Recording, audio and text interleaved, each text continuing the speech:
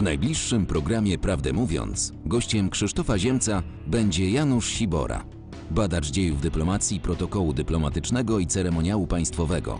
Kiedy dzisiaj współcześnie spotykają się koledzy, szefowie służb zagranicznych, to otrzymuje ktoś w prezencie na przykład dwa ziemniaki z Idaho.